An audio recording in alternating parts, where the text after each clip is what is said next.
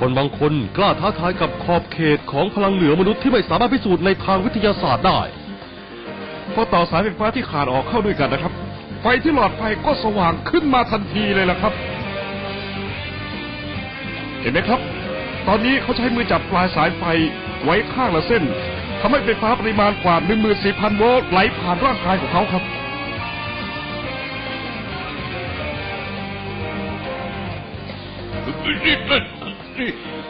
เมื่อเขาจับที่ปลายสายไฟปุ๊บหลอดไฟก็สว่างขึ้นมา ในขณะเดียวกันใบหน้าของเขาก็เริ่มแดงขึ้นมาด้วยนะครับ ไม่รู้ว่าเขาจะทนอยู่ในสภาพนี้ได้อีกนานแค่ไหนกันนะครับ พลังของมนุษย์เพียงอย่างเดียว จะทำให้ร่างกายทนต่อไฟฟ้าแรงสูงได้จริงๆน่ะเหรอโอ้โหอุ้ยนี่ก็นี่ว้าวโอ้เขาสามารถทนรับกระแสไฟฟ้าได้ 25 วินาทีครับ แต่นิ้วมือซึ่งจับสายไฟฟ้าเมื่อกี้นี้ กลับไม่มีบาดแผลใดๆเลยครับ สปันกับพลังเหนือธรรมชาติและมนุษย์ไฟฟ้า มนุษย์ไฟฟ้าที่สามารถสร้างไฟฟ้าออกมาจากร่างกายของตัวเองได้ คุณเชื่อในความสามารถที่แปลกประหลาดนี้ไหมสวัสดีครับ สวัสดีครับวันนี้นักมายากลจะมาท้าทายการเป็นมนุษย์ไฟฟ้าครับผมขอนิ้วมือแค่นิ้วเดียวก็พอแล้วนะครับ ขอหน่อยฮะ ของผมเหรอฮะ ครับแค่นิ้วเดียวฮะครับขอหน่อย อุ้ยไอ้ดูดไงฮะโอ้โหมีไฟฟ้าไหลออกมาครับที่จะเป็นปรากฏการณ์ไฟฟ้าสถิตหรือเปล่า ลองดูอีกทีนึง เราดูอีกทีนะครับมาอ๋อโอ้โหไงฮะครั้งนี้ก็เหมือนกัน อีกทีนะฮะอีกทีนะครับครับครับโอ้โห รู้สึกได้เลยฮะ มีกระแสไฟฟ้าไหลออกมาจากร่างกายของนักขอแค่มายานิ้วกลนิ้วเดียวครับคุณป้าครับอะขอขอนิ้วเดีลยวองดูกันอีกทีครับ เอาละครับ ว้ายว้ายตายแล้วโอ้โห เฮ้ยป้าตกใจโอ้ยตายเข้าใจแล้วเข้าใจแล้วถ้าเกิดจที่ทางทีวีนะเคยเห็นแล้วแบบเนี้ยใช่เลยอะท่านผู้นี้เคยเห็นรถไฟฟ้าทางทีวีมาแล้ว ไหนอีกทีดิ เออเอาทีนะฮะ ตกใจแน่ๆเลยโอ้โอ้โหโหเห็นไหมเนี่ยแล้วแบบเนี้ยช็อตแบบแบบนี้แต่ตอนนี้คงได้สัมผัสด้วยตนเองแล้วไม่นะคเอารับ แล้วป้าไม่เอาแล้วไม่เอาเอาหน้าป้าแหมเราอีกทั้งรอบนะจ๊ะเมียจ๋ามา เออมาเลยฮะ เราลองดูอีกทีนะฮะ เออ เออเอาละว้ายอะนี่ไม่ใช่ไฟฟ้าสถิตแต่เป็นกระแสไฟฟ้าที่ค่อนข้างแรงเลยทีเดียว ลองสิคะ เอาละนะครับอ้าวโอ้ยพลังเหนือธรรมชาติที่ไม่น่าเชื่อว่า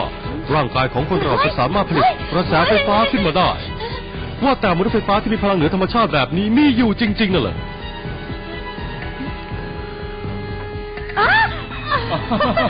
แล้วคราวนี้เราจะใช้ปฏิกิริยาไฟฟ้าอย่างอื่นมาทดสอบดูครับต้นนะครับ ผมขออนุญาตเอาไส้บุหรี่วางที่มือคุณหน่อยนะครับ นี่ครับ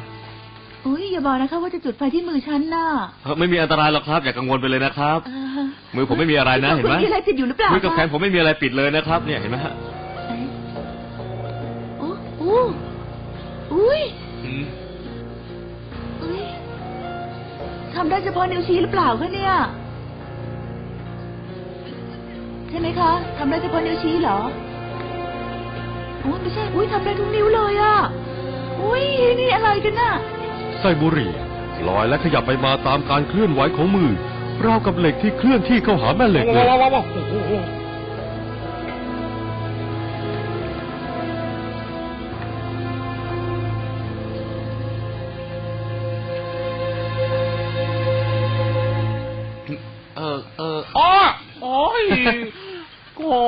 คุณทำคุอะณไรรู้สึกเหมือนโดนไฟฟ้าสถิตเลยใช่หรือเปล่าล่ะครับ แบบนี้มันไม่ใช่ไฟฟ้าสถิตแล้วนะคุณ แต่รู้สึกเหมือนไฟฟ้าใช่ไหมครับครับใช่ครับ แรงกระตุ้นจากไฟฟ้าที่แรงกว่าไฟฟ้าสถิต โอ้โหโอ้โหโอ้โหโอ้โหโอ้โหเฮ้ยเฮ้ยลอยได้ลอยได้ลอยได้ โอ้มหัศจรรย์มากโอ้ยทำได้ไงเนี่ย โอ้โหทำได้ไงคุณ ถ้าอย่างนั้น กระแสไฟฟ้านี้สามารถส่งผ่านไปยังคนอื่นได้ไหมลองจับมือคนที่อยู่ข้างๆสิครับ เฮ้ย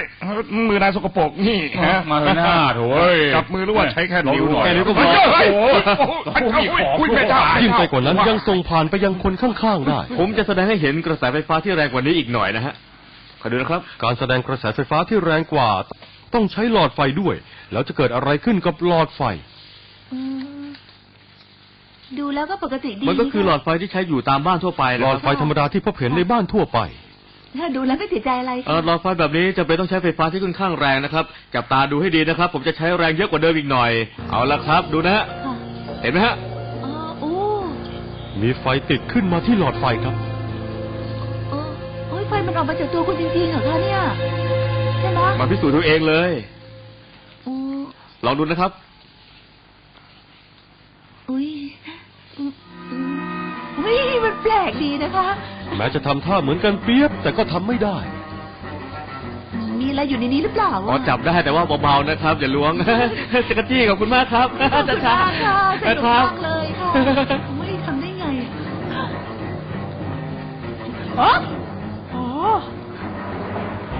โอ้ยละละละจริงเหรอที่เขาสามารถสร้างกระแสไฟฟ้าขึ้นมาได้ โดยไม่ต้องใช้อุปกรณ์อะไรเลย เอ่อถ้าเป็นคนปกติธรรมดาแล้วเนี่ยจะไม่สามารถสร้างกระแสไฟฟ้าขึ้นมาได้นะครับ คนที่เรียกตัวเองว่ามนุษย์ไฟฟ้านั้น จะต้องมีเครื่องผลิตกระแสไฟฟ้าอยู่ที่ตัวอย่างแน่นอนเลยครับ ในกรณีของปลาไหลไฟฟ้าจะมีเครื่องผลิตกระแสไฟฟ้าอยู่ในร่างกายครับ ร่างกายของมันจึงสามารถปล่อยกระแสไฟฟ้าออกมาได้ ฉะนั้นในร่างกายของนักพยากรณ์จะต้องมีเอ่อของที่ทำหน้าที่เป็นเครื่องเอ่อผลิตกระแสไฟฟ้า เหมือนกับปลาไหลอยู่ในร่างกายอย่างแน่นอนเลยล่ะครับคอนเฟิร์มครับ โอ้ยอะไรเนี่ย ในทางวิทยาศาสตร์แล้ว ถ้าไม่มีเครื่องผลิตกระแสไฟฟ้า มนุษย์ไฟฟ้าก็ไม่มีทางเป็นไปได้ แล้วความลับของมนุษย์ไฟฟ้าคืออะไร